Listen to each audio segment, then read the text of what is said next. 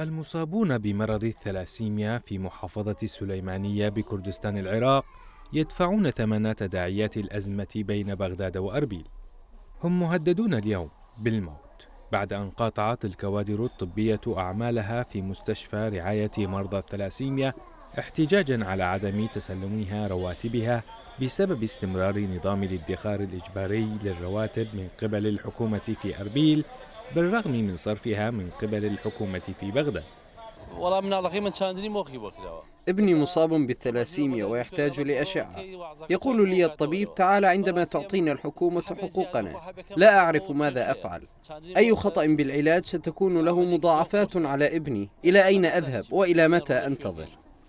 جمعية الثلاسيميا في السليمانية طالبت بدورها المستشفيات بصرف الدم لمرضاها الذين قد يتعرضون لمضاعفات مرضية خطيرة وحملت الحكومة في كردستان العراق مسؤولية معاناة مرضى الثلاسيميا وطالبتها بحل مشكلة صرف الرواتب فورا وإعطاء الحقوق لأهلها.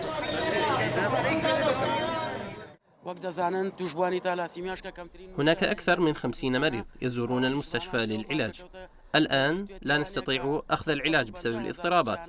نحن نحمل الحكومة المسؤولية عما يجري هنا ونطالب بحل الموضوع سريعا.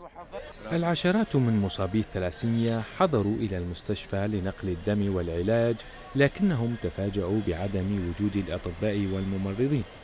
كما أن العديد من المصابين يأتون من خارج السليمانية في رحلة سفر طويلة.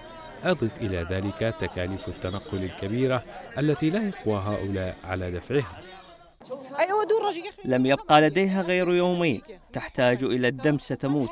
أحمل الحكومة التي لا تهتم بنا المسؤولية. عندما يمرض أطفالهم يعالجوهم في الخارج لا يأتون إلى هذه المستشفى التي هي الحياة بالنسبة لنا.